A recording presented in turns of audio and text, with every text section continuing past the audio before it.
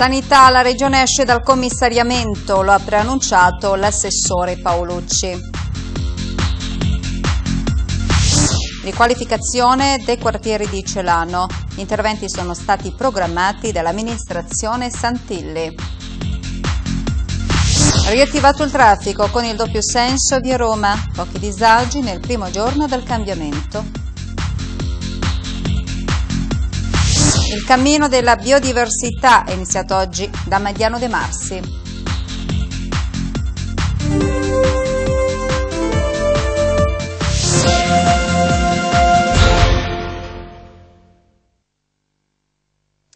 Cordiale saluto dagli studi di Antenna 2. Nella mattinata di ieri gli operatori del commissariato di pubblica sicurezza di Avezzano con ausilio di due pattuglie del reparto prevenzione crimine di Pescara hanno eseguito una serie di controlli volti al contrasto dei crimini predatori e all'implementazione della vigilanza sul territorio marsicano personale della Polizia di Stato si è concentrato sui principali luoghi di transito, ossia la stazione ferroviaria, il terminal degli autobus e le più importanti articolazioni viarie.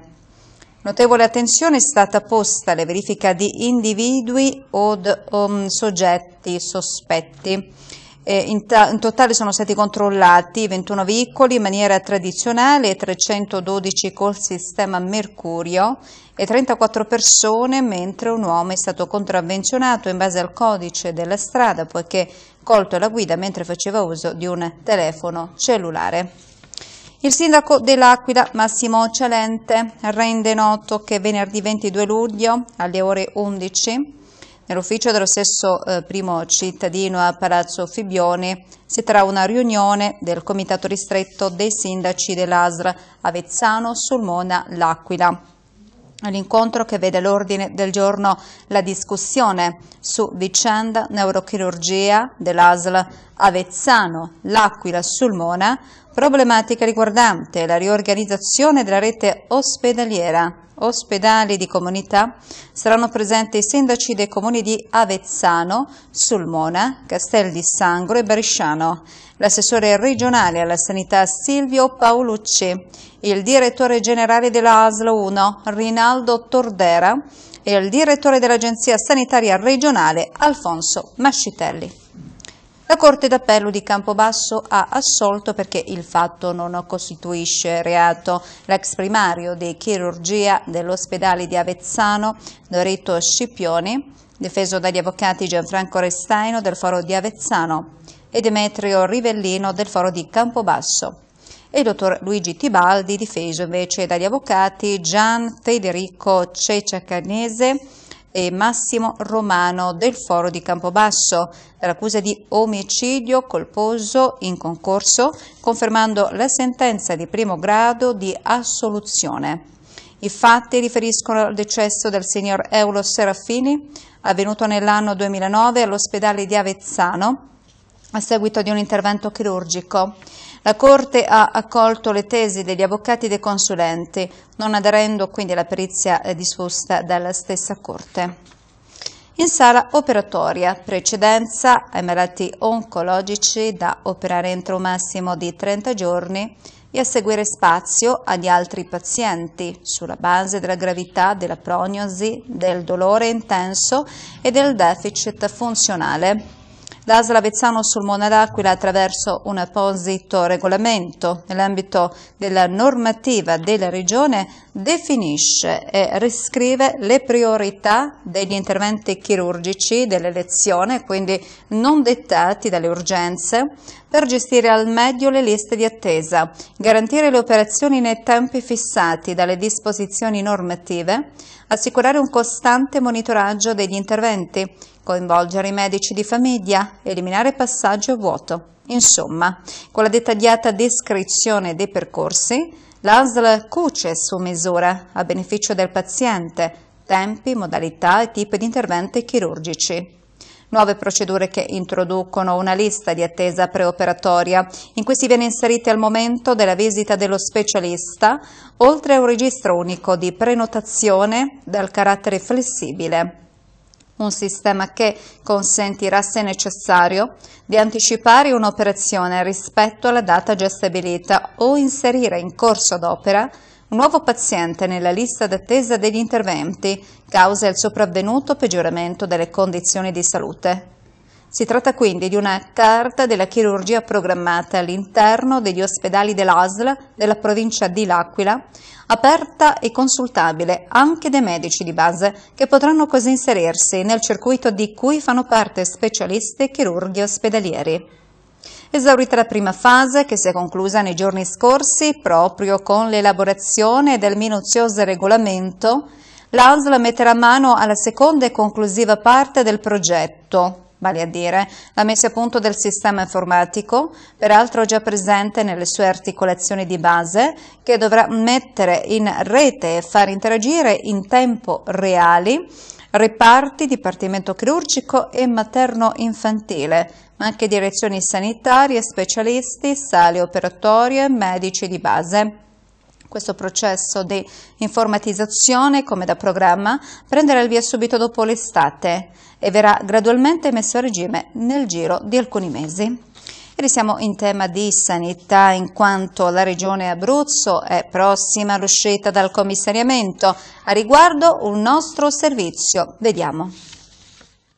Un eh, primo sì del Ministero della Salute all'uscita del commissariamento della sanità abruzzese dettato dall'esame delle prime proiezioni che dimostrano la crescita sul livello di assistenza la prevenzione e la rete di emergenza-urgenza. Così l'assessore alla programmazione sanitaria Silvio Paolucci ha preannunciato oggi in conferenza stampa la prossima fine del regime di commissariamento della sanità abruzzese a conclusione di un percorso che ha visto la Regione Abruzzo adempiere a tutti i punti riguardanti il mandato commissariale.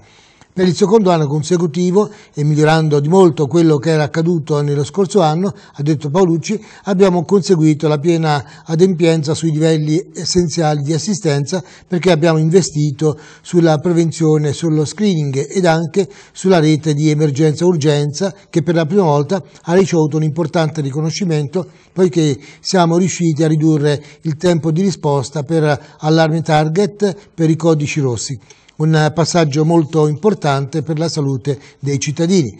La crescita sugli obiettivi salute e la sostenibilità del sistema ha consentito di esaurire tutti i punti che erano stati indicati nel mandato commissariale. Paolucci ha spiegato che anche quest'anno è stato registrato l'equilibrio economico che, anche se è stato raggiunto con alcune sopravvivenze straordinarie attive, ha in sé tutte le coperture necessarie per procedere anche ad un restringimento delle risorse nazionali raggiungiamo un traguardo che dovrebbe inorgoglire tutta la comunità degli abruzzesi, essendo la nostra la prima regione d'Italia ad aver concluso positivamente l'iter di riordino dell'intera rete ospedaliera. Nei prossimi giorni la Giunta regionale metterà all'ordine del giorno un provvedimento che faccia accedere al percorso d'uscita con il trasferimento dei poteri. Successivamente la delibera passerà al vaglio della conferenza Stato-Regioni e subito dopo si sottoporrà al riconoscimento del Consiglio dei Ministri. Ascoltiamo comunque a riguardo cosa ha dichiarato lo stesso assessore Silvio Paolucci. Le valutazioni sono state tutte positive, il percorso si è concluso, gli adempimenti previsti alla delibera commissariale sono esauriti.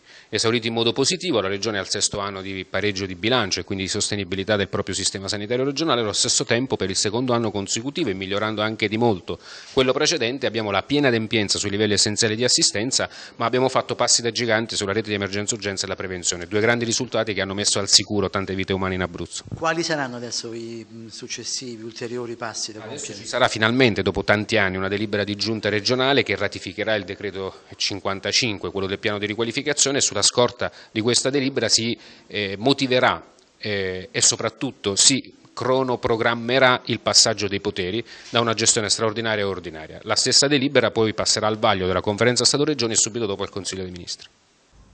Come anticipato da oggi ad Avezzano è stato riattivato il traffico veicolare con il doppio senso di marcia in via Roma nel tratto da via Montevelino a Villa Torlonia. La decisione era stata preannunciata con largo anticipo dall'amministrazione comunale. Questo modo il famoso anello a senso unico eh, tra via 20 settembre, via Montello, via Montevelino e via Roma, istituito dall'amministrazione Floris, è stato definitivamente annullato, tornando al doppio senso di marcia in tutte e quattro le arterie cittadine. L'attivazione non ha comportato disagi evidenti, anche perché negli incroci più pericolosi il traffico è stato regolato da pattuglie della polizia locale. Sul ritorno al doppio senso di marcia in via Roma, ma anche su altri delicati problemi cittadini, abbiamo raccolto le impressioni del primo cittadino, Giovanni Di Pangrazio. Sentiamo. Allora, per il traffico da Vezzano si torna all'antico. Sindaco, qualcuno dice che lei sta mantenendo le promesse elettorali. È così o ci sono poi problemi pratici per quanto riguarda il ritorno al doppio senso in via Roma? Ma innanzitutto io sono uno di quelli che mantengo sempre le parole e le promesse fatte agli elettori, ma comunque fatte a chiunque abbia avuto nella mia vita contatti con me.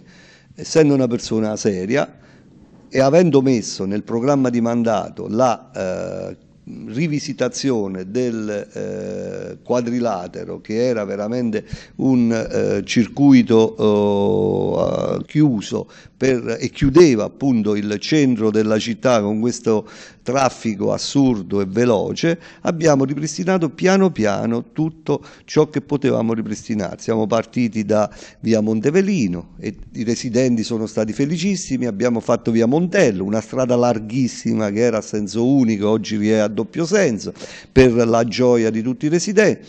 Abbiamo fatto via 20 settembre che all'inizio forse perché creava qualche disagio c'erano dei curiosi e quindi intasavano un po' via 20 settembre, oggi scorre tranquillamente, normale che un piccolo in alcune punte della giornata forse c'è un leggero traffico, ma viva Dio, Avezzano è una città non è un paesello, e oggi abbiamo messo mani a via eh, Roma. Via Roma che la chiusura di via Roma che chiaramente isola e isolava tutta la zona di Pucetta, tutta la zona diciamo proprio di via Roma e eh, quartieri limitrofi consentendo a chiunque volesse eh, raggiungere da piazza Torlonia, da via Napoli, quel tratto là o quelle abitazioni là, doveva fare il giro di tutta la città. Mi sembra assolutamente non giustificabile. Quindi noi siamo per far vivere la città agli avezzanesi e ai marzicani.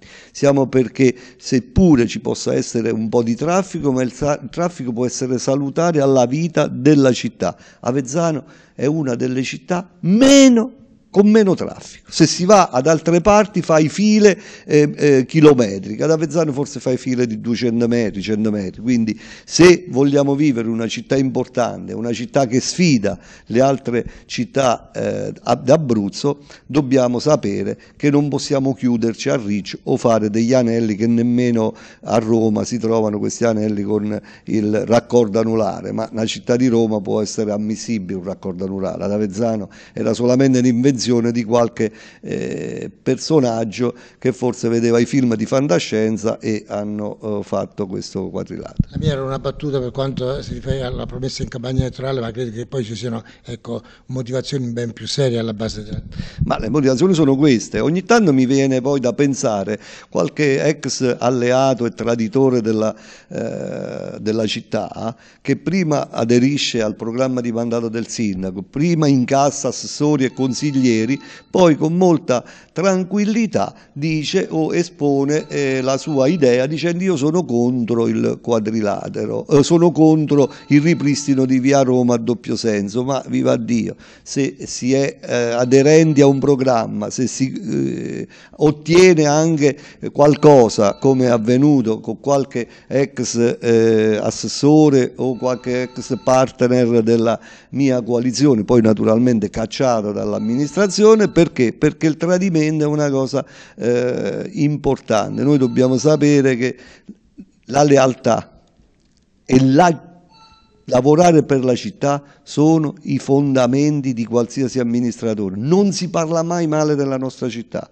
Si possono dare dei suggerimenti per migliorarla, ma mai parlare male della città. E vedo troppo spesso dei venduti a dei eh, giornali o comunque a delle eh, testate eh, aquilane che spesso attraverso eh, queste testate aquilane che chiaramente non vedono bene la nostra Marsica parlano male della città di Avezzano. Basta i elettori vi puniranno come vi hanno puniti, essendo ormai dei eh, punti eh, dispersi nella nostra città. Il quadrilatero era una cavolata, è stato riconosciuto dall'80% dei cittadini, c'è ogni tanto qualcuno che può pensarla diversamente, viva Dio che la pensi, ci confrontiamo e spiegheremo le nostre ragioni.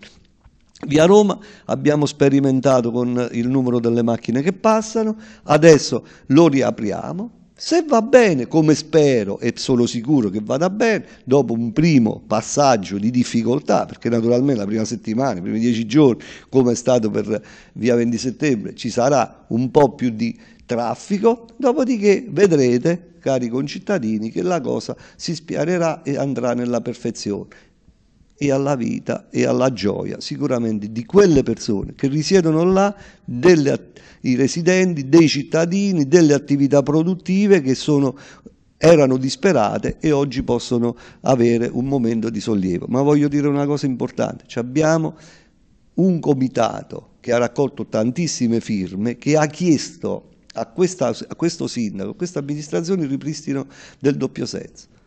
Un buon sindaco verifica se non ci sono problemi, deve fare quello che vuole il popolo, altrimenti non può fare certamente il sindaco.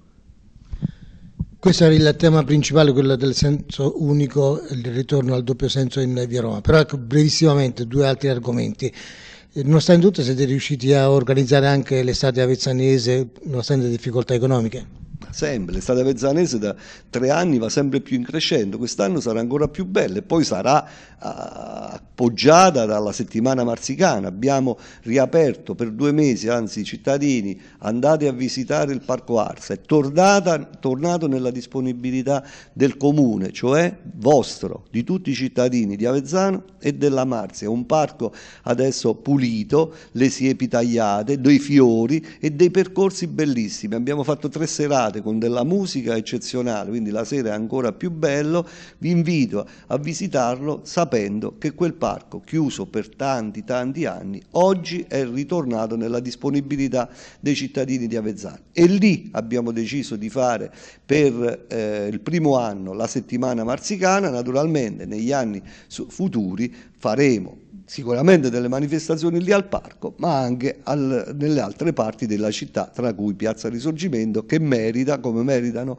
i eh, coloro che vivono intorno a Piazza Risorgimento, di godersi anche loro la parte di, eh, della settimana marzicana non per alimentare polemiche, ma solo perché dall'Aquila continuano a, a macinare il, la difesa di Galzio per quanto riguarda la neurochirurgia, insomma, stanno esagerando un po'. Ma gli aquilani, almeno parte degli aquilani, si sentono sempre chiusi e vogliono fare sempre questa contrapposizione con la Marsica. Galzio ha fatto un provvedimento ritenuto dagli stessi eh, tecnici della, della sanità illegittimo. Doveva fare le richieste e fare i passaggi attraverso il direttore di dipartimento, il direttore sanitario, il direttore generale, che non l'ha fatto. Ha dimostrato l'arroganza che non sta bene mai a un medico. Un medico deve avere come principale attività quella di curare e di essere a disposizione dei malati. Tutte queste chiacchiere, l'intervento della figlia, degli anestesisti, di questo, di quel medico, penso che stiano esagerando. Galzio ha rimesso le dimissioni ma ancora lavora, ancora fa l'attività professionale eh, in proprio, ancora penso che possa essere d'aiuto alla sanità provinciale. Mi veramente sconvolge quando sento alcuni medici aquilani dire è un danno per la sanità aquilana. La sanità è di tutti i cittadini della provincia dell'Aquila, medici che sottoscrivete questi appelli. Sono tutti i medici della provincia dell'Aquila che devono impegnarsi per una sanità che va a favore dei cittadini assolutamente di tutti i luoghi e di tutti i territori, da Castel di Sangro a Sulmona, da Vezzano e l'Aquila. Non pensate sempre che esista solo l'Aquila e il resto del territorio è di secondo livello. Non è così, ve lo abbiamo dimostrato sempre con l'economia che è stata sempre autonoma, quella marzicana, abbiamo sempre dimostrato di avere una eh, disponibilità e una generosità nei confronti degli aquilani per cortesia cerchiamo un attimo di tenere il territorio delle aree interne unito e non continuate a cercare le divisioni. La Marsica non è per le divisioni, è per l'unione di tutte le aree interne, quindi smettetela di fare e di continuare a parlare di calzio e non calzio. Noi abbiamo chiesto solamente che il provvedimento è legittimo, che esiste neurochirurgia, seppur come unità operativa semplice, nella rete eh, ospedaliera, fin tanto non viene tolta deve esistere. Abbiamo invitato il direttore generale ad assumere i medici se servono e per fare in modo che il professor Gazio possa stare tranquillo. Nessuna polemica, la polemica la sta facendo il professor Gazio, i suoi familiari e qualche medico aquilano che vuole a tutti i costi fare la rissa con i marsicani, ma noi non cadremo mai a questi tranelli. Noi siamo per l'unione delle aree interne, siamo perché la sanità sia diretta ai cittadini, non ai medici, ai primari o a, a chiunque altro che sia, bravo che sia, deve essere sempre indirizzata ai cittadini perché sono i cittadini che hanno bisogno di cure e sono i cittadini poi che pagano le tasse. Prosegue secondo la tabella di marcia predisposta dall'amministrazione Santilli la serie di interventi che partendo dalla periferia eh, tendono alla riqualificazione dei quartieri della città di Celano. È stato reso operativo infatti il cantiere di via Tribuna, zona che necessitava da diversi anni di un'importante ed incisiva opera di riqualificazione che si svilupperà da via Moricelle fino a via Stazione. Lo rende noto il sindaco Settimio Santilli che aggiunge i lavori previsti riguarderanno il rifacimento del manto stradale, la sistemazione dei marciapiedi, ma soprattutto l'ammodernamento di tutta la rete idrica fognaria, infrastrutture queste che devono avere la massima priorità per non avere problemi seri nel corso del tempo, come si sta verificando in altre diverse località italiane, proprio per la mancanza di un efficiente ed efficace piano di manutenzione delle medesime.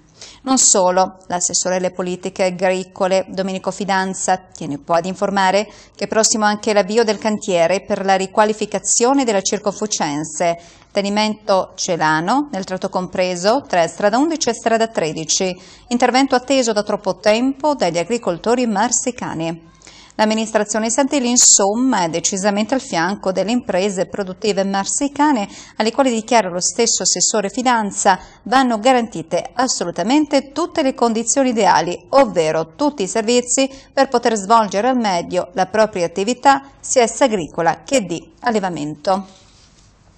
Colpo vincente a Celano grazie al Super Enalotto. Nel concorso di ieri infatti sono stati vinti oltre 32.000 euro grazie a 2-5 con due schedine giocate presso il bar Montagnani di via Santa Cecilia. E la sestina esatta nel frattempo manca da più di un anno con un ritardo record di 158 concorsi e il jackpot salito a 110,9 milioni, eh, quarto premio nella storia del gioco. In Abruzzo, riferisce a Gipro News, 6 manca dal 2012 quando il 30 agosto ad Avezzano vennero centrati 12,3 milioni di euro, mentre da inizio anno la vincita più alta è un 5 da 76 mila euro realizzato a Pescara lo scorso 9 febbraio. Diventa sempre più drammatica la situazione lavorativa all'Aquila con il call center Globe Network che annuncia imminenti licenziamenti dopo aver messo in ferie forzate tutti i lavoratori con sindacati che non sono riusciti a trovare una soluzione adeguata vista anche la latitanza di vertici di H3G all'incontro di ieri a Roma al Ministero per lo Sviluppo Economico. Lo firma in una nota Enza Blundo, senatrice aquilana del Movimento 5 Stelle. Esprimo tutta la mia solidarietà, prosegue eh, Blundo Mi metto ulteriormente a disposizione dei lavoratori di Globe Network per essere d'aiuto in maniera concreta nella risoluzione della questione. Auspico che vertici di H3G ripensino alle modalità da seguire per la salvaguardia dei posti di lavoro di ben 234 persone che su questa occupazione hanno costruito le speranze per il loro futuro e quello dei loro figli.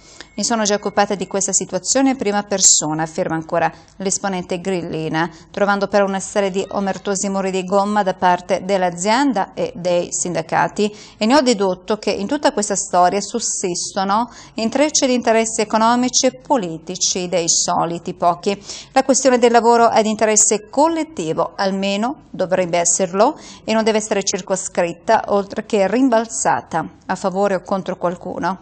Situazioni simili si delineano delineano in maniera preoccupante anche nei call center cittadini di Tramscom e dei CARE per i paventati ridimensionamenti e licenziamenti. Oggi ho mosso i primi passi dal centro visite della riserva naturale statale Montevelino a Mediano de Marsi, il cammino della biodiversità i camminatori hanno percorso i primi 10 chilometri attraverso la riserva naturale statale del Velino e il parco regionale del Sirente Velino in ripida salita fino al monte di Sevice e poi in discesa fino al borgo di Cartore. Il cammino raggiungerà venerdì ehm, 22 il Gran Sasso e infine la Madiella il giorno successivo, dopo aver percorso 45 km a piedi superato 3.500 metri di dislivello ed attraversato tre stazioni di ricerca Long Term Ecological Research. Alla partenza l'iniziativa è stata illustrata dal vice questore giunto forestale Bruno Petriccione, coordinatore del cammino e referente delle stazioni di ricerca del Velino e del Gran Sasso e dai rappresentanti dell'amministrazione comunale di Madiano de Marsi. Camminatori, una quindicina, provengono dall'Aquila, Santa Eufemia, a Madiella, Roma e Madiano de Marsi. Durante il percorso l'ecologo Bruno Petriccione, insieme all'entomologo Agostino Letardi, ha illustrato ai eh, partecipanti le caratteristiche biotiche e abiotiche che fanno della riserva naturale statale Monte Velino un gioiello naturalistico dei nostri Appennini abruzzesi, presenti anche di entusiasti membri del gruppo escursionisti del Velino. Giunti alla stazione ehm, della ricerca del Monte Velino, i camminatori hanno eh, partecipato ai rilievi sulla vegetazione e il microclima della stazione, posta in un ambiente molto severo. Dati rilevanti confermano la preoccupante tendenza in corso da ormai vent'anni all'adattamento dell'aridità eh, delle comunità vegetali d'alta quota, nelle quali è in corso un processo di graduale degenerazione con forte diminuzione delle rare specie adattate ai climi più freddi e l'invasione di quelle più eh, termofile. Dopo il pernottamento a Cartore, i camminatori attraverseranno domani la riserva naturale regionale montagne della Duchessa fino all'omonimo lago per ridiscendere al Campo Felice a Luccoli, dove saranno accolti dall'ente parco Sirente Velino e dalla locale amministrazione comunale. È indispensabile ridare attrattività alla città di Sulmona e nello specifico al suo centro storico. La nuova amministrazione dovrebbe avviare progetti di riqualificazione degli spazi del centro storico finalizzati a ridarne vigore e crearne attrattività sia economica che sociale, provvedendo a realizzare nuove pavimentazioni, illuminazioni, arredi e percorsi storico-culturali da riconoscibili e segnalati. La Confesercenti e l'Officina dei Sapori Cescot hanno spesso segnalato la necessità di una concreta riqualificazione urbanistica del cuore cittadino, con particolare riguardo agli accessi delle porte storiche attraverso un progetto mirato alla dilatazione del concetto di centralità urbana. In sostanza, l'intervento proposto riguarda l'intero sistema di attività, funzioni e servizi che caratterizzano la città. L'obiettivo è quello di individuare e sviluppare una serie di interventi finalizzati al miglioramento della performance commerciale, turistica e dei servizi della città, e in particolare del suo centro storico. Le modalità di approccio sono quelle legate al fare sistema tra i diversi soggetti. La Confesercenti e l'Officina di Saporicescot reputano indispensabile come primo atto che il Comune proceda ad un'indagine esplorativa al fine di ricevere rilievi e proposte da parte di chi vive il territorio urbano Successivamente l'amministrazione dovrebbe avviare le procedure per la redazione del piano di marketing urbano, capace di creare nonché incrementare le potenzialità e la performance commerciale, culturale e sociale del centro urbano di Sulmona, nonché il grado attrattività. L'autorità dei trasporti ha deciso di erogare tre sanzioni per un totale di 13.000 euro nei confronti di Trenitalia per violazione del regolamento sui diritti e di obblighi dei passeggeri. Le sanzioni riguardano la violazione segnalata da singoli passeggeri ed è un comitato di pendolari del diritto degli abbonati a ricevere dall'impresa ferroviaria un indennizzo adeguato a fronte di ripetute ritardi o soppressioni del servizio. Le situazioni esaminate dal Consiglio delle autorità, si legge in una nota, riguardavano viaggiatori, tra cui numerosi pendolari, sulle tratte ferroviarie ricomprese nei contratti di servizio stipulati da Trenitalia con le regioni Abruzzo, Emilia-Romagna e Molise, per i quali sussistono obblighi di servizio pubblico. La prima multa è di 4.000 euro, riguarda la linea Cassino-Avezzano, la seconda da 5.000 euro, il percorso ferroviario Imola-Bologna, la terza anch'essa da 4.000 euro, è relativa ad un reclamo del 10 novembre 2015 concernente il percorso ferroviario Isernia-Campobasso. Le organizzazioni sindacali FAI, CISL, FLAI, CGL e WILA WIL hanno proclamato a partire da domani 21 luglio uno sciopero ad oltranza dei 53 dipendenti dell'Associazione regionale allevatori che sede all'Aquila, le tre sezioni operative nel capoluogo abruzzese a Chieti Pescara e a Teramo l'estensione del lavoro con la conseguente sospensione di ogni servizio erogato alle imprese zootecniche abruzzesi si rende necessaria in seguito alla situazione ormai insostenibile che si è venuta a creare, spiega Felice Antonio Maurizi, segretario regionale CISRA. Le maestranze devono percepire ben 35 stipendi e ritratti, fatta eccezione per qualche retribuzione sporadica e a singhiozzo, a cui si aggiungono rimborsi delle spese sostenute per le attività rese alle aziende zootecniche. Una situazione drammatica che ci costringe in Calza Maurizi ad adottare una forma di protesta forte fino a quando non avremo risposta esaustiva da parte dell'Associazione regionale allevatori per quanto concerne il pagamento delle spettanze arretrate la Regione Abruzzo e l'Associazione allevatori nazionale e regionale chiamate a fornire risposte chiare e inequivocabili sul futuro della struttura e sulla sua eh, sostenibilità. Questa era L'ultima notizia, prima dei salutino come sempre, vi ricordiamo che questa edizione la potrete rivedere sul nostro sito internet che è antena2tv.it o sulla nostra pagina Facebook Antena 2 Avezzano dove sarà possibile eh, rivedere anche i vecchi servizi che Antena 2 ha realizzato nel corso degli ultimi anni. Dunque grazie per averci seguito anche oggi e arrivederci.